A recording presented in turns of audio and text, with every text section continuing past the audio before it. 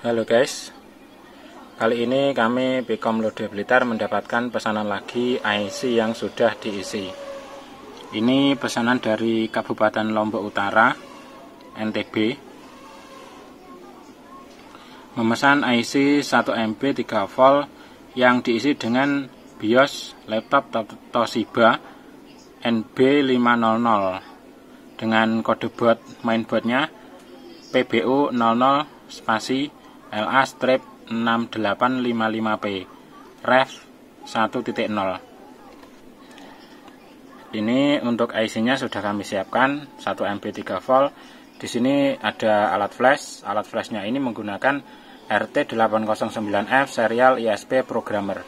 Di sini ada adapter sub 8 200 mil yang fungsinya sebagai tempat dudukan IC-nya dan juga sebagai penghubung ke alat flash. Bila membutuhkan adapter ini juga tersedia di Picom Lodaya Blitar. Oke, selanjutnya langsung saja untuk adapternya ini dipasang di alat flash seperti ini. Lalu dikunci. Di sini ada pinset digunakan untuk mengambil IC-nya dan diposisikan di alat flashnya seperti ini lalu ditekan adapternya kiri kanan IC nya masuk dilepaskan dan otomatis sudah mengunci. Ini ada setepo.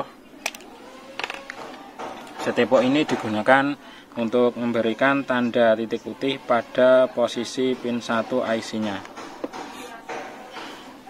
yang tujuannya dari tanda titik putih ini adalah untuk memudahkan pemesan melihat posisi pin 1 sekarang menuju ke komputer ini dibuka dulu softwarenya dari alat flash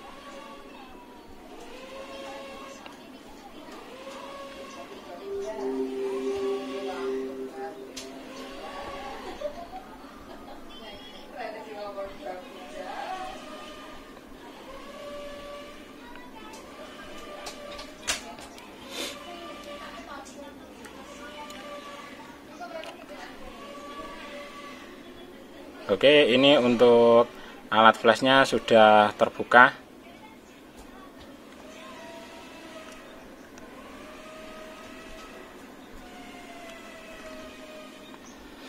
Oke pertama klik identifikasi.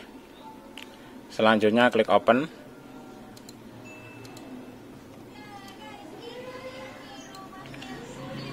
Di sini ada berbagai jenis file untuk semua jenis elektronik karena kami melayani pengisian untuk semua jenis elektronik.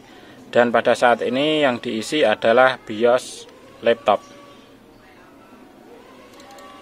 Lalu sekarang menuju ke pojok kanan atas. Ke pojok kanan atas di sini pencarian. Di sini langsung diketik saja. Contohnya ini saya ketik kode bot mainboardnya LA 6855P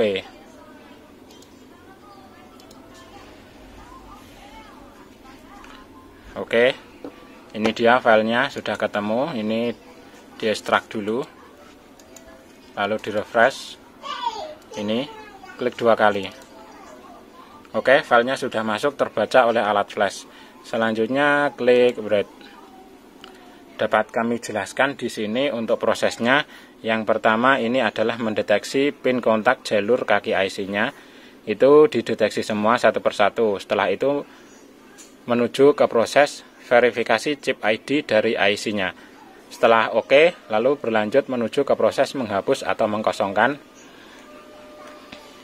IC sebelum diisi itu dihapus dulu atau dikosongkan dulu dipastikan bahwa benar-benar kosong dulu yang tujuannya adalah agar awet IC-nya dan awet file firmware-nya file BIOS-nya.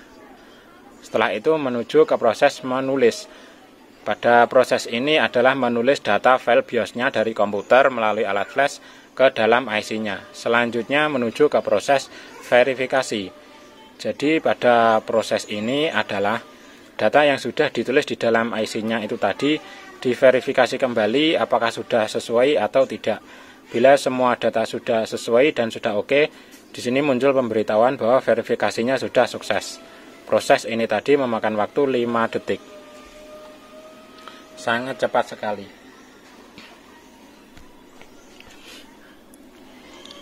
Oke, untuk proses pengisian IC-nya ini sudah selesai diisi dan IC-nya ini sudah siap untuk dibungkus dan dikirim ke alamat pemesan yang ada di Kabupaten Lombok Utara, Nusa Tenggara Barat atau NTB.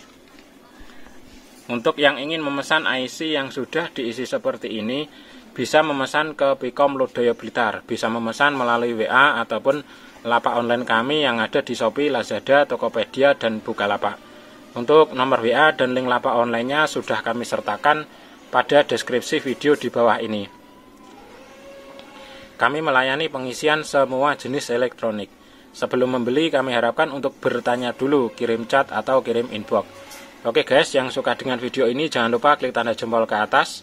Yang belum subscribe silahkan di subscribe dulu channel Pkom Lodoyo Blitar dan aktifkan lonceng notifikasinya agar mendapatkan pemberitahuan update video terbaru dari Pkom Lodoyo Blitar. Oke, sekian. Terima kasih. Thank you, thank you.